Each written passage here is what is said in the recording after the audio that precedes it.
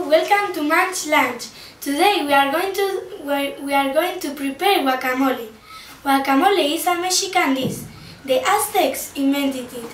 The main ingredient is avocado, one of the highest fat content fruits. The Aztecs diet was low in fat, so the avocado gave them the, the fat needed.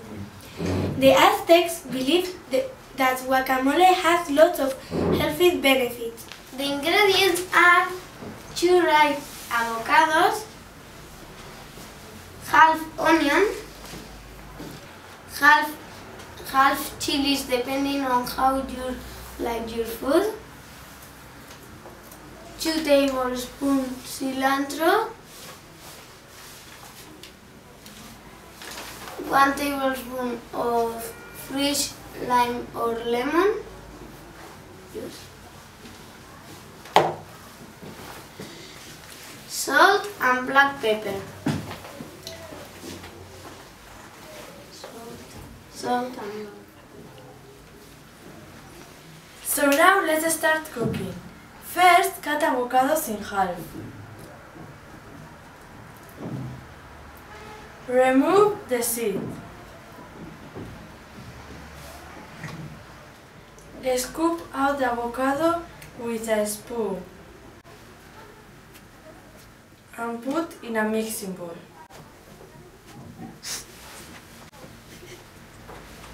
Avocados come from Mexico. Avocados provide nearly 20 essential nutrients, including, fi including fiber, potassium, vitamin E, B vitamins, and folic acid. Then chop the onion. Tomato, cilantro, and chilies. Onions are used to cook lot of dishes. It can be yellow, red, green, or white. Early Ameri- American settlers used wild onion to treat colds, gas, and asthma, and to repel insects. Oh, Tomatoes are sweet, juice, and delicious. They have vitamin C to lose calories.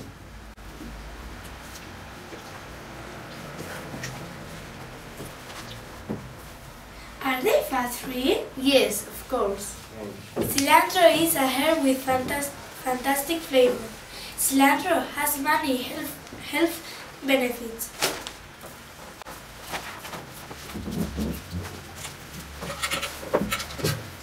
The amount of chilies is up to you depending on how hot you like your food.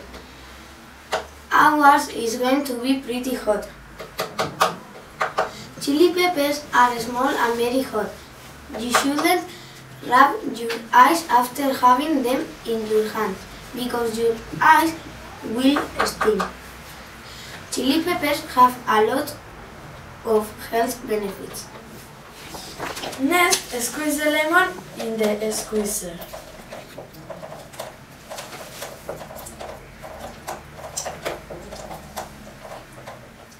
Lemon is very good for constipation, indigestion, fiber, hair and skin care, burns, and they come from Asia.